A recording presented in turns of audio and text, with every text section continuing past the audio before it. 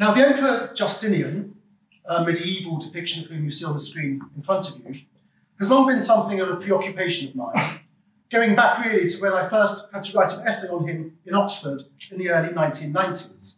Uh, an essay that had been sent by my old tutor Patrick Wormald, who gave me the question Did Justinian ruin the empire he set out to restore? And in many ways, I've spent much of these subsequent 30 years or so really trying to answer that question and attempted to come to terms with the emperor and his reign. As an undergraduate after Patrick, largely taught by James Howard Johnston, of whom you have a very grainy image there, I encountered Justinian from a primarily military perspective, thinking about him in terms of relations between Byzantium and its great superpower rival, the uh, Empire of Persia. Was also looking at the impact of Justinian's aggressive foreign policy on the empire's neighbours to the west, in terms of the barbarian successor kingdoms that had emerged around the Mediterranean over the course of the 5th century.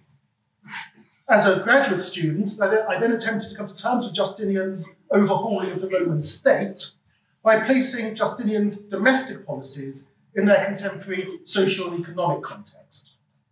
Drawing on the testimony of the documentary papyri from Egypt and the legal and numismatic evidence for the empire at large. More recently, I have approached Justinian's reign from a more fully blown legal perspective, and increasingly from a more doctrinal perspective, assisted with some, by some wonderful graduate students whose interests have been often rather more religious than mine have tended to be. Now, over the course of the last three years, these interests have sort of come together by virtue of COVID, which obliged me really to find a lockdown project. With most of the libraries closed, I had to find myself a project I could get on with writing, drawing on my own resources.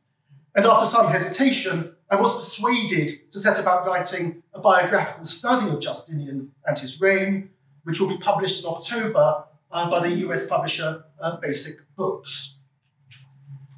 Oh, and I thought I'd given you a title page, and I haven't. Anyway, we have to wait for that. Uh, under the title Justinian, Emperor, Soldier, Saint. Now, in my talk tonight, I essentially want to set out what I now think of Justinian and his legacy, drawing on my experiences of writing that book. For although when I started it, I thought I knew what I wanted to say, in the course of its composition, I found myself obliged to reconsider key aspects of Justinian's reign. And as a result, my view on Justinian is now very different to what it was before COVID struck. And I'll begin by setting out Justinian's reign in its broader historical context in very general terms, for the benefit of the non-specialist present. The reign of Justinian has long stood out from the pages of ancient and medieval history for its energy, ambition, and drama. From the imperial capital of Constantinople, Justinian would rule over a vast domain, which at the start of his reign extended from Greece and the Balkans in the west to the deserts of Syria and Arabia to the east, and encompassed not only Asia Minor and Anatolia, but also the fantastically wealthy region of Egypt, at this time uh, the most economically productive region in the entire Mediterranean world. Yet for all its apparent grandeur, the empire that Justinian inherited in the year 527 was one in which political circles in Constantinople were haunted by a profound sense of anxiety and insecurity, which the new emperor was determined to address. A chief, though not the sole cause of anxiety to some, was the fact that although Justinian claimed to be Roman emperor, sole heir and successor to Augustus and Constantine, his was, of course, a Roman empire that now no longer embraced many of the empire's original heartlands in Italy, North Africa, Spain, and Gaul. These territories, along with Britain, had of course been lost to direct Roman rule over the course of the 5th century. Glorious and extensive though it was, the Roman Empire of Justinian's day was already perceived by some to be an imperial contradiction. And prior to Justinian's reign, chroniclers such as the pagan Zosimus whose work would continue to be widely read, had begun to comment on this fact. In particular, the emperor's claims to universal Roman authority were now openly contested by certain of the key barbarian or Romano-Germanic rulers who had carved out autonomous kingdoms for themselves in the West in the preceding decades. Now, certain of Justinian's contemporaries would appear to have been far more sensitive to the political ramifications of this state of affairs than others, but there clearly were those who were very sensitive to it indeed, including figures in the entourage of Justinian himself, such as the chronicler Count Marcellinus, private secretary to Justinian prior to his accession to the throne, who was of the opinion, crucially, that with the deposition of Romulus Augustulus as last emperor in Italy in 476, the Western Roman Empire had fallen. And personally, I, I would subscribe to the opinion that anti barbarian sentiment was especially pronounced among men of Illyrian origin, such as Count Marcellinus, the Emperor Justin I, and his nephew and adoptive son Justinian drawing upon collective memories of the barbarian impact on their Balkan homeland. At the time when Justin I had made his way to Constantinople in the late 5th century, for example, the region around the future city of Justiniana Prima, uh, whence Justinian claimed their family had originated, was probably in something of a no man's land, contested between different warlords and authorities, a point that Alex Sarantis has argued in his excellent study of uh, uh, the Balkans at the age of Justinian. In response to this, relatively early in his reign, Justinian would spearhead an imperial reconquest of Africa, Italy, and ultimately part of Spain, the reconquered territories visible on the map. These campaigns began in 533 with the daring decision to send an expeditionary force along the sea lanes of the Mediterranean from Constantinople to the Vandal kingdom of Africa. With the rapid defeat and then capture of the Vandal king Gelimer, the entire kingdom passed back into Roman hands. The breathtaking success of this African mission would soon encourage Justinian to direct his armies into Italy in a concerted effort to restore Roman rule over that ancient heartland of the empire. This attempt, too, would prove largely successful, although in a much more drawn out and costly war. At home, Justinian cracked down on tax evasion by members of the senatorial elite, who repeatedly schemed and plotted against him to the very end of his reign. He recast provincial administration and also dramatically overhauled the inherited body of Roman law. Here, his aim was to impose order and clarity on the sprawling mass of legal texts on which administration and regulation of the empire depended, facilitating speedier justice and reforming the law to express one unified vision and will, that of the emperor himself, such as we find contained in his codex, the digest, and the institutes. So effective was this act of autocratic fiat and codification that, as the late Peter Birks used to emphasize, it is now extremely difficult to really work out in any real detail what Roman law was like before Justinian, with the emperor's law commissioners determining the form in which civil law would survive into the Middle Ages and beyond. Whilst locked in political conflict with members of the elite, many of whom resented his political as well as fiscal reforms, Justinian attempted to appeal to the broader populace of Constantinople by investing in lavish building projects epitomised by Hagia Sophia, and engaging in prodigious acts of generosity and clarity, as in charity, primarily targeted at the urban poor. But above all, as we will see, Justinian sought to recast the Roman Empire, transforming it into a much more fully Christian state in which religious outsiders, dissidents, and those deemed morally or sexually deviant were subjected to ever more draconian punishments. As churchmen deemed heretical were consigned to prison or exile, and as the emperor's many Jewish subjects found themselves openly discriminated against by state officials with imperial encouragement, it would have become increasingly apparent to many contemporaries that the accession of Justinian had heralded the advent of a more intolerant age. To some of his enemies, such as Procopius in his secret history, he was a demon. To some of his admirers, he would be a saint. But to a broader body of his contemporaries, whether they viewed him as a holy emperor or a demon king, it would have been clear that Justinian was a ruler of remarkable vision and drive. Now, it is often emphasized that Justinian helps to lay the foundations for the world of Orthodox Byzantium as it took shape in the centuries ahead. In many ways, however, his achievement was more fundamental than that. In his recasting of the Roman state as an Orthodox republic, as he describes it in one of the laws to which we will return, Justinian ultimately laid the ideological and psychological foundations for medieval Christendom as a whole, as well as bequeathing a major legacy to the Islamic world that emerged in the Near East in the 7th and 8th centuries. In each case, the legacy of Justinianic law would inform how rulers interacted with their subjects, and in particular, how they treated religious minorities. Many of the great persecutions we associate with the world of medieval Christendom, for example, were, in a fundamental sense, informed by what we used to think of as the rediscovery and renewed application of Justinianic Roman law. On a much more general level, through his energetic reform program and no less energetic self glorification, Justinian recast what it meant to rule, providing a model of statecraft to which future Byzantine emperors, medieval kings, Muslim caliphs, and Ottoman sultans would come to aspire. Now, to date, many English language studies of Justinian in particular have tended to focus on his external military policies and adventures rather than his internal reforms, by virtue of the fact generally that historians have often tended to be more familiar with the sources on which we depend for the military history of Justinian's reign than with the legal uh, and religious sources, which tend to reveal his broader and deeper policy agenda.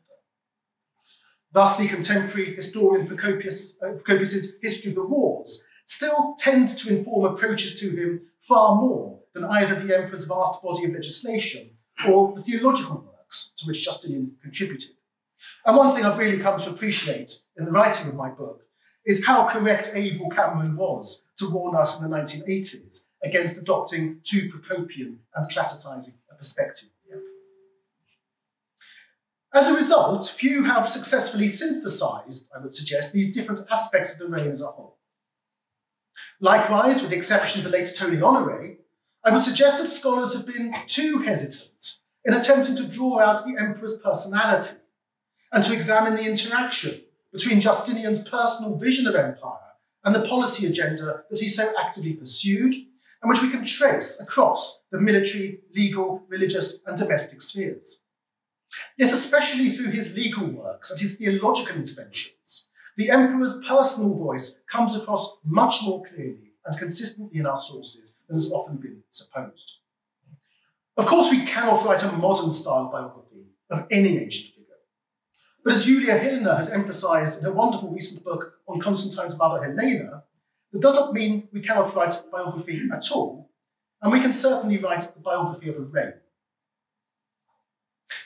The legal and theological sources in particular enable us to catch, for example, the urgent tone of Justinian's unremitting insistence on the need to elicit divine favour, his constant impatience, his tendency to infuse even the most mundane of administrative tasks with spiritual and religious significance, his obsession with detail, and his close personal dependence on his consort, the Empress Theodora, so strong that after her death in 548, both his focus and his grip on power would initially begin to drift and loosen until refocused. The age of Justinian was her age too. The same sources reveal Justinian's determination to crush his opponents and his blistering contempt for those seemingly oblivious to the virtues and superiority of imperial Christianity. At the same time, the emperor's legislation, particularly contained in his so called novels, his post codificatory laws, reveal a man moved by genuine sympathy for the claims of the poor, the needs of orphans, the physically handicapped, slaves, agricultural workers, and seemingly, with his wife's encouragement, the vulnerability of many women, such as widows or country girls trafficked to Constantinople for the purposes of prostitution. The emperor's social legislation was in many ways what we would think of today as relatively liberal, addressing the concerns of many whom Roman law had hitherto tended to overlook. In terms of his own self representation and interests, Justinian was an emperor immersed in the minutiae of administration and law, a soldier committed to the expansion and defence of the Roman realm, despite his own apparent lack of frontline military experience, and a pious Christian preoccupied with the definition and propagation of what he regarded the true faith. In the church of San Vitale in Ravenna, there famously stands a magnificent mosaic dating from the 6th century depicting Justinian in procession with his courtiers, adjacent to an equally magnificent mosaic of Theodora and hers. This portrait of Justinian is the most famous image that we have of man. As Justinian stares out from the walls of the church, it is easy for the viewer to be mesmerized by the radiance of the imperial diadem or the splendor of the emperor's bejeweled raiment. Yet the gold, silver, and other luminous tesserae of which the crown, robes, and visage of the emperor are composed primarily stand out and captivate by virtue of the dark, darker fragments of framing. Likewise, in order to understand Justinian and come to terms with not just his reign, but also with the person of the emperor himself, we have to appreciate both the light and the dark of which he and his age were composed. For a reign of unprecedented charity was also marked by a similarly unprecedented degree of intolerance and cruelty, motivated by the same Christian principles. And the emperor's strong sense of providential mission and commitment to what he perceived to be the common good were matched by strongly autocratic tendencies and his keen and often prickly sense of his own dignity and pride, which repeatedly come across from the sources. As I've just indicated, Justinian's military ventures and foreign policy uh, uh, forays typically loom large in accounts of his reign. And this is not of itself unreasonable. All Roman emperors felt under an obligation to defend and, where practicable, to extend the frontiers of the Roman state, and Justinian was no exception. But the Western campaigns, which so often capture the imagination of Western historians, large, were largely exercises in opportunistic imperialism, taking advantage of a series of internal political crises in the kingdoms of Africa, Italy, and Spain, to which Justinian responded. These were opportunities which Justinian was fortunate to be presented with, and were in certain respects probably resultant from crises which he and his uncle, the Emperor Justin I, had deliberately helped to foster. But we have almost no indication of any great plan to reconquer the West as a whole, on which Justin, on Justinian's part, such as is sometimes supposed. The commitment of military resources to the West was always limited, and Justinian's chief commander for most of his campaigns, Belisarius, tended to be entrusted with a relatively flexible mandate uh, when he was sent out against the empire's barbarian enemies to the west, adjusting both justifications for war and the extent of the empire's military ambitions in the light of what he encountered on the ground. I think more problematic is a tendency one sometimes encounters in the secondary literature to judge the success or otherwise of Justinian's reign in terms of the subsequent military fortunes of the empire in general and the reconquered territories in particular after Justinian died. By the time of Justinian's death in 565, as I mentioned earlier, his armies had reconquered Italy, Africa, and Spain, parts of Spain rather, and the Sasanian authorities had been obliged to acknowledge Roman overlordship of the strategically vital West Caucasian kingdom of Lazica. By the 570s, however, much of northern Italy had come to be overrun by a new barbarian threat in the form of the Lombards. By the end of the 620s, East Roman forces had been driven out of Spain, and Roman territories in Africa, as well as Egypt, Syria, and Palestine, would succumb to the Arabs over the course of the 7th century. At the same time, the reigns of Justinian's successors would witness growing fiscal frailty on the part of the East Roman state, which would in turn lead to military unrest, growing political instability, and ultimately a bloody civil war, which would open the way to invasion by the Persians, thereby effectively preparing the ground, as it were, for the Arabs. Now, it's long been common for historians to try to establish some sort of causal connection between Justinian's imperial expansion and the subsequent era of imperial collapse. It was the point of the essay I was set in Oxford in 1991 after all. No such connection, however, has ever really been plausibly established. The fiscal and military exhaustion of the empire, for example, is far more likely to have been the result of the devastating bubonic plague, which first struck the empire in the 540s and which would continue down to the 8th century. Here you have uh, on the screen some victims of the bubonic plague from um, uh, a 6th century burial site in Cambridgeshire at the site of Edix Hill, looking increasingly likely that, this burial, that these burials date from the 540s. And there are more uh, such uh, discoveries one can look at. Likewise, the Lombard invasions were ultimately the result of a reconfiguration of power in Central Asia in the mid 6th century, which had led to the westward migration of the Avars, the consolidation of whose power to the north of the Danube would encourage both Lombards and Slavs to cross into imperial territory in Italy and the Balkans, respectively. There was nothing realistically that Justinian could have done to prevent either the plague or the Avar migration. But I think still more problematically, overemphasizing the relatively short-lived nature of Justinian's revival of imperial fortunes in the West when thinking about the legacy of his reign is to misunderstand where those wars of reconquest stood in terms of Justinian's list of priorities.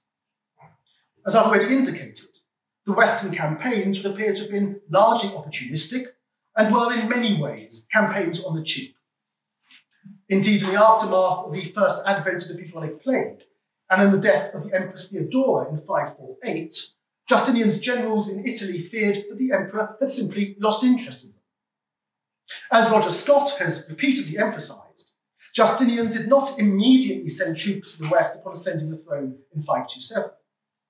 Rather, the African campaign had to wait some six years and was only launched after Justinian had survived the Nika riots of 532 which had almost driven him from the throne.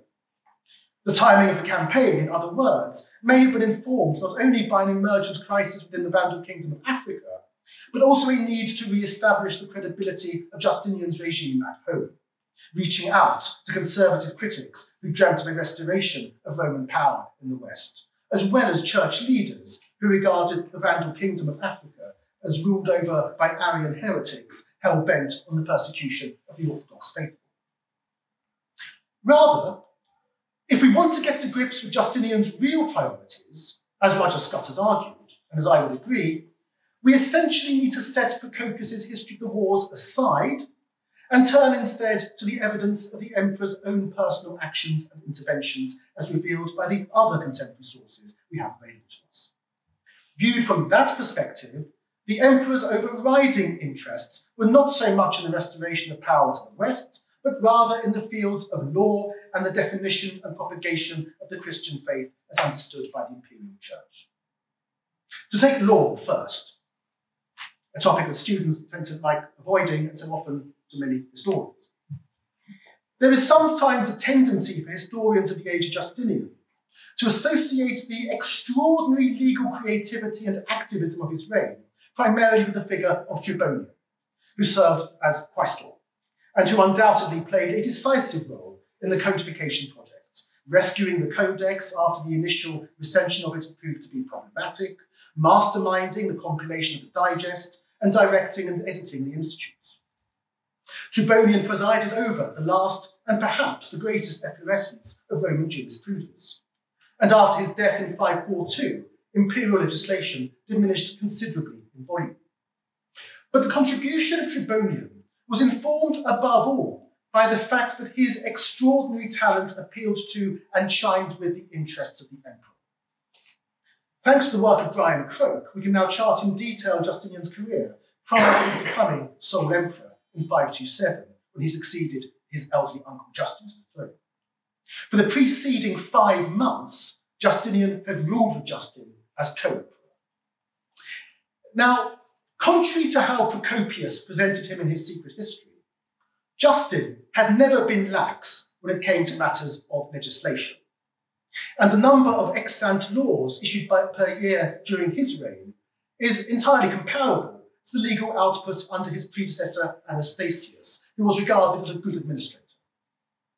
Justin was also capable of making major, carefully targeted governmental interventions as and when necessary when in the year 525, for example, much of the city of Antioch was destroyed by a devastating earthquake, Justin ordered that the vast sum of more than one third of a million solidi be assigned to the rebuilding of the city.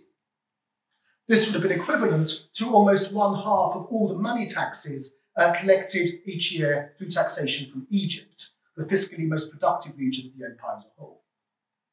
Left to his own devices, however, Justin was clearly not inclined to make significant legal innovations. In legal terms, he was a great believer in letting sleeping dogs lie. The rate of output and tone of Justin's legislation, however, can be seen to have changed dramatically once Justinian was appointed co emperor, such that one third of all the laws we have for Justin's reign were issued in just those five months alone. Having spent almost nine years of his life watching his adopted father running the Roman state at a relatively leisurely pace, Justinian was clearly determined to speed things up. Here was a middle aged man in a hurry, eager to finally make his mark. Indeed, turning from reading the legislation of Justin to that issued under the joint names of Justin and Justinian is akin to being woken up from a light doze by somebody slapping you round the face and shouting at you. And once Justinian started shouting, he did not easily stop. In just one month after he became sole emperor, for example, Justinian issued more extant laws than his uncle had done in the entirety of his eight and a half year period of sole rule. And whilst Justin had issued some 30 extant laws from 519 to 527, during the first eight years of his reign, Justinian would issue over 400, to a great extent prior to the development of his working relationship with Tribonian. Initial wave of legislation addressed the full range of issues that had long concerned Roman emperors. The technicalities of the Roman law of marriage, inheritance, commercial exchanges and loans, property ownership, and the regulation of legal proceedings at court, to name but a few. But Justinian's initial legal focus, however, was overwhelmingly religious in nature. The first clearly dated law we have that survives from 528 forbade bishops from having children or grandchildren and regulated the running of hospices, infirmaries, poorhouses, and orphanages under ecclesiastical care. It also cracked down on bribery to secure church appointments and complained of priests paying others to perform their duties for them. Justinian believed in the imperial church, but he was under no illusions as to the moral failings of many of its personnel. Six years later, in 534, for example, he would complain of bishops playing dice, betting on horses, and attending stage shows, as well as musical performances and boxing matches, when in fact, he thundered, it behoves them to devote themselves to fasts, vigils, and the study of divine scriptures and prayers on behalf of us all. Justinian's initial religious ire, however, was overwhelmingly directed at heretics, Samaritans, Jews, and especially at this point, pagans. As Alan Cameron emphasised, emperors since the 4th century had passed increasingly draconian legislation seeking to prohibit pagan acts of worship. In an important law, probably issued in 529, Justinian, however, made it illegal not only to perform pagan rituals or rites, but even to be a pagan.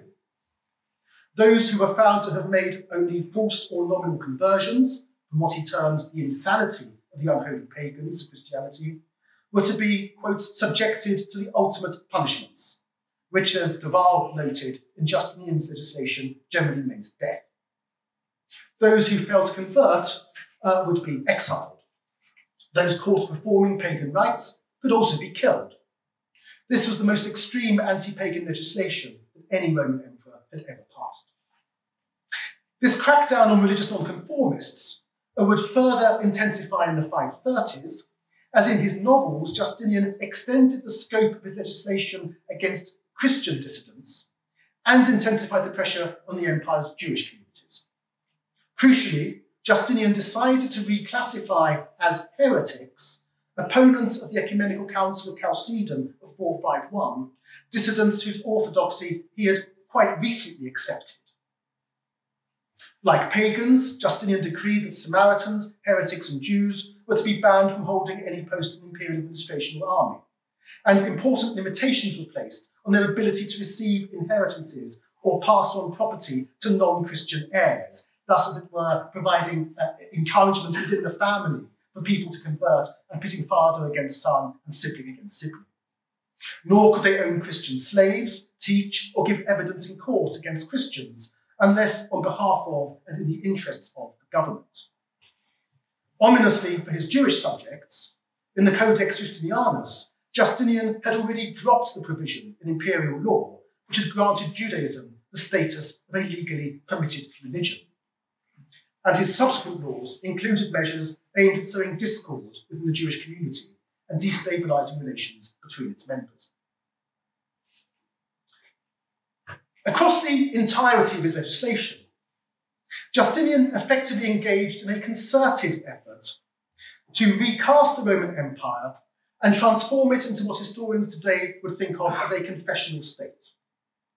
The opening volume of the Codex Justinianus, in marked contrast to the Theodosian Code, had given pride of place to laws concerned with the most exalted Trinity and the Catholic faith. It was only once the rights and concerns of the Church had been addressed that the Codex proceeded to those of the state.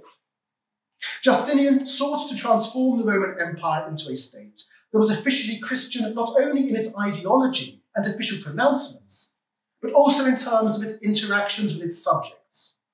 He progressively advanced the rights of those most lawful of the emperor's subjects, who upheld the imperially sanctioned definition of the faith, whilst curtailing and applying steady downward pressure on the rights of religious and other minorities regarded as outsiders in, what he referred to in one of his laws as the Orthodox Republic, the Orthodoxos Politeia.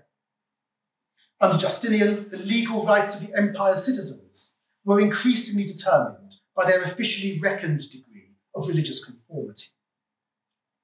As a result, deliberate efforts were made to marginalize the heterodox and to treat heretics, Jews, Samaritans, and pagans as a sort of undifferentiated mass of second class citizens, increasingly burdened with obligations rather than bearing rights.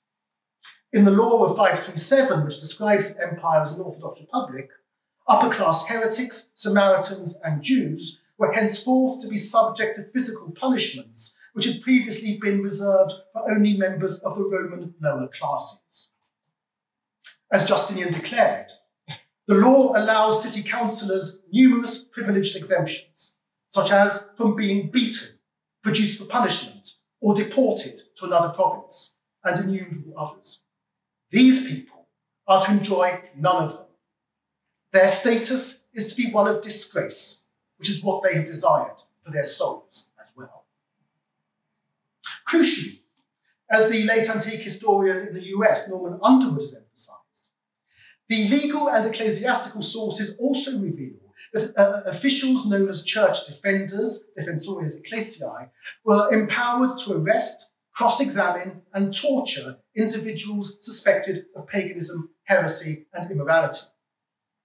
In a law concerned with provincial administration, dating from 535, such heretic hunting, as Justinian terms it, is alluded to in passing as a now entirely standard feature of life within the empire. These heresy hunters were, in effect, I would suggest, the forerunner of those who would characterize the world of, later medieval Europe. In many ways, Justinian thereby effectively established and defined the ideological foundations of the Christian state on which subsequent medieval rulers would build, delineating through his laws the overarching vision of a Christian society presided over and disciplined by a pious monarch in which deviance and error were to be ruthlessly identified, extirpated, or suppressed. It is perhaps, it is perhaps uh, uh, uh, revealing that the Acropolis of the city of Justiniana Prima, which Justinian ordered to be built near the site of his birth, was occupied not by a governor's residence or secular buildings, but by a cathedral and an episcopal palace, and also that this city seems to have functioned as a centre for pilgrimage.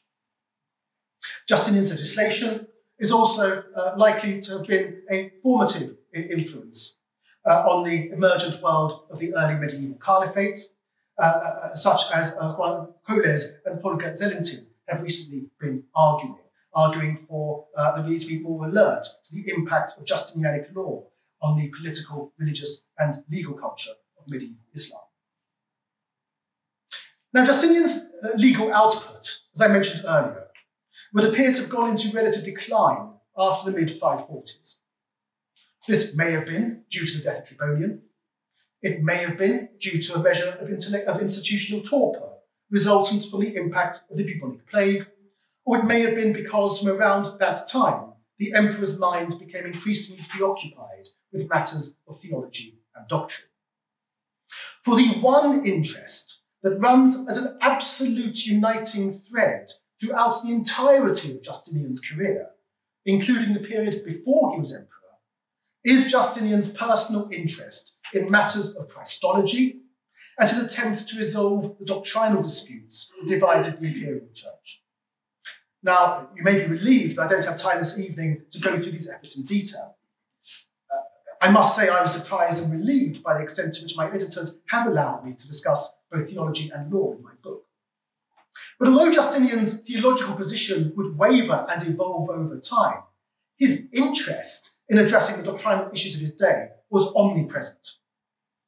Even prior to ascending the imperial throne, for example, when he was simply the nephew or adopted son of a new emperor with no particular power at court, we see Justinian writing to Pope Hormisdas in Rome, attempting to engage him in discussion of theology, quoting St. Augustine to him, and even reassuring the Pope at one point that he regarded a statement recently made by the pontiff to be, quotes, fully Catholic. It is hard to imagine that the tone adopted by the Illyrian Guards officer towards the Holy Father would not have raised some eyebrows in the papal curia.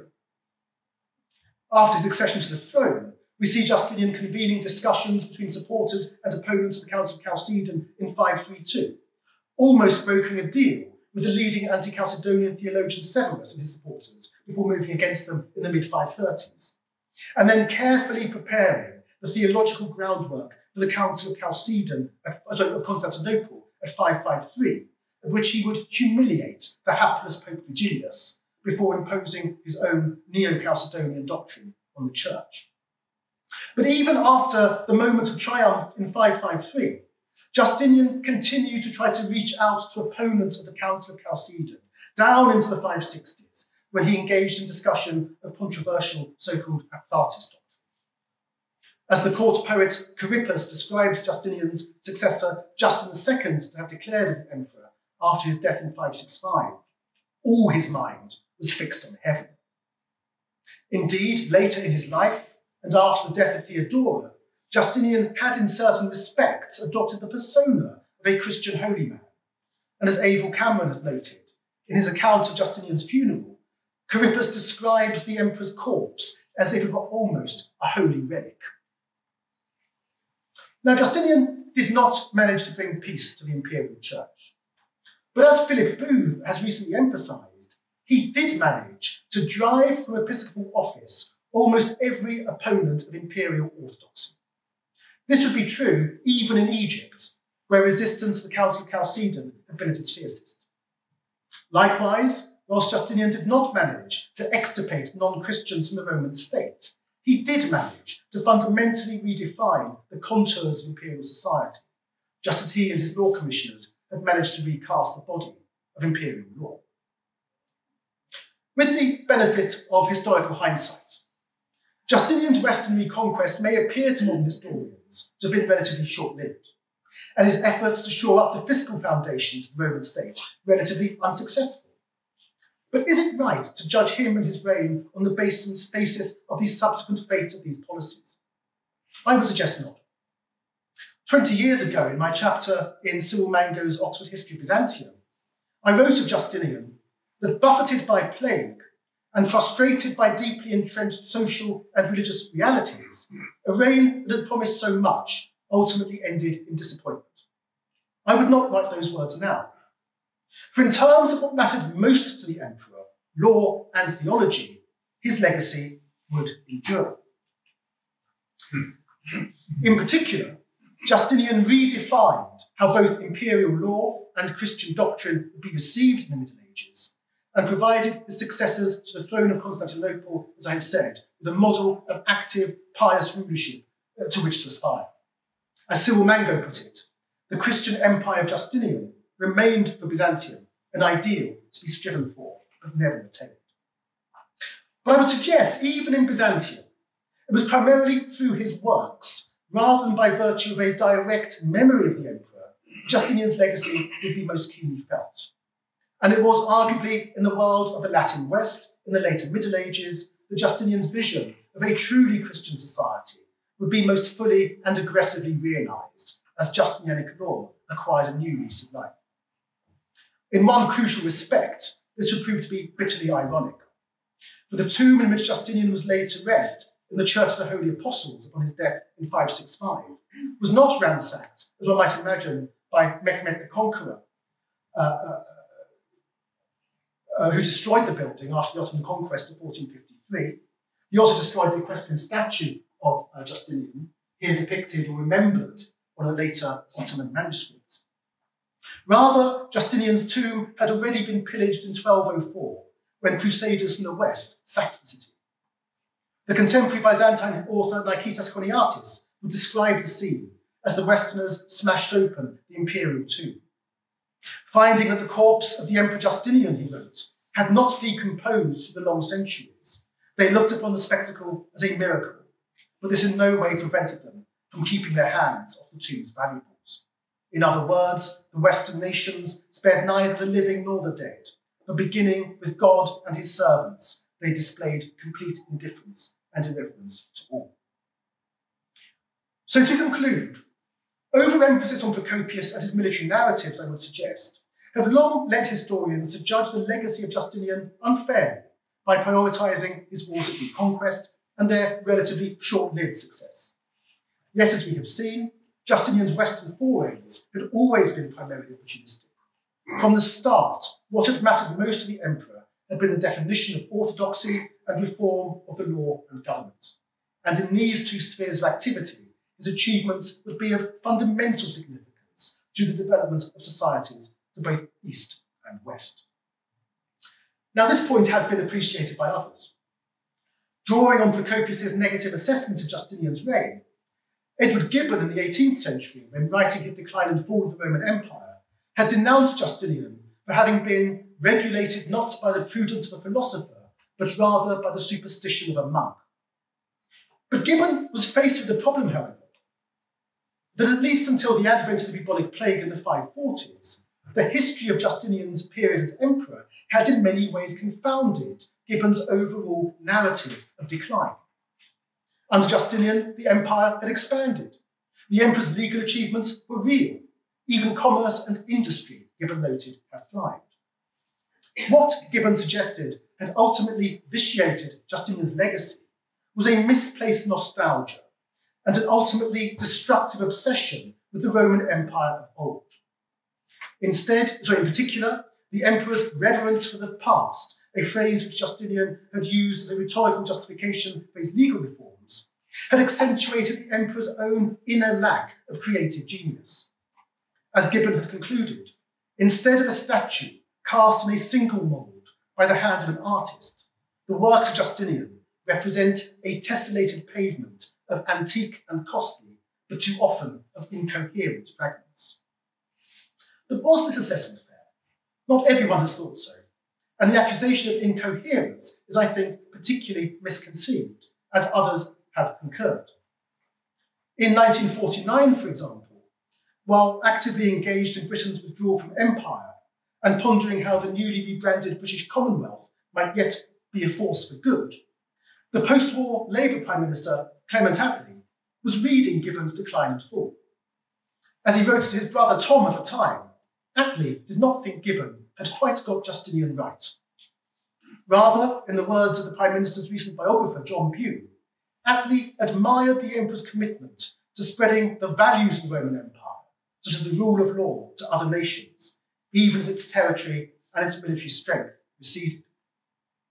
Now, the values that Justinian spread are not necessarily our values, but the remarkable extent to which his influence has been felt across the world in societies both East and West in the 1500 years since he first ascended the throne of Constantinople, the sole emperor, in 527, would suggest that Attlee had a point.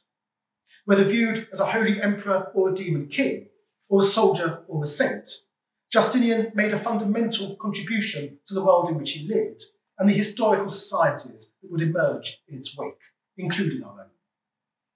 For a message in my forthcoming book is that perhaps despite the many centuries that separate us from Justinian, this very ancient figure remains our contemporary.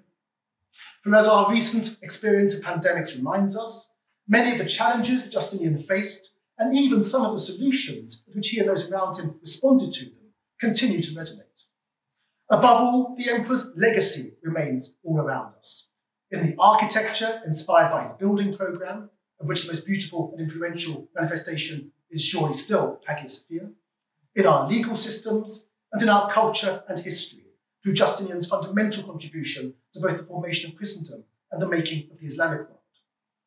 As such, for all his complexity and contradictions, Justinian and the history of his reign continue to speak to us today. And students of history, both ancient and modern, I would suggest, still have much to learn.